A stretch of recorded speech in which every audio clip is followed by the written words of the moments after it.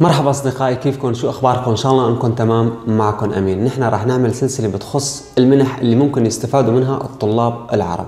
أول منحة جايب لكم إياها اليوم راح نحكي عنها هي منحة مقدمة من البنك الإسلامي للتنمية. طبعا البنك الإسلامي للتنمية بيضم بعضويته 57 دولة من أربع قارات.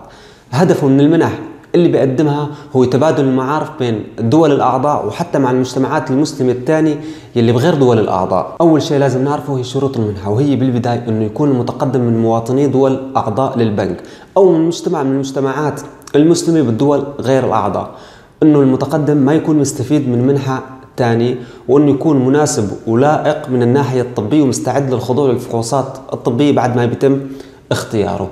هلا بالنسبة للي بده يقدم على البكالوريوس لازم يكون مخلص الثانوي وحاصل على الحد الأدنى من العلامات الجيده بالمواد الرئيسية أو إنه يكون الطالب بالسنه الأولى بجامعة بدولته أو بوحده من دول الأعضاء اللي بترتبط باتفاق مع البنك مثل ماليزيا المغرب تركيا أو غيرها. بالنسبة للماجستير لازم يكون الطالب حاصل على تقدير أعلى من جيد. أما بالنسبة للدكتوراه المتقدم لازم يكون معدل الماجستير لا يقل عن جيد جدا يعني فوق 80% وشهادة الماجستير اللي معه لازم تكون بوحدة من مجالات الدراسة اللي بيشملها البرنامج اللي راح نذكرها بعد شوي. المجالات اللي بيحق للمرشحين متابعة الدراسة فيها مثل ما ذكرها موقع البنك الإسلامي للتنمية هي الزراعة المستدامة، التعليم، الطاقة، التعليم من أجل التنمية المستدامة، الكيمياء الخضراء، تكنولوجيا المعلومات والاتصالات من أجل التنمية، الاقتصاد والتمويل والصرافة الإسلامية، ومجالات العلوم الاجتماعية، وباقي المجالات ذكرناها بالمقال اللي راح نحط لكم إياه بصندوق الوصف، هلأ بننتقل للميزات والتسهيلات والرواتب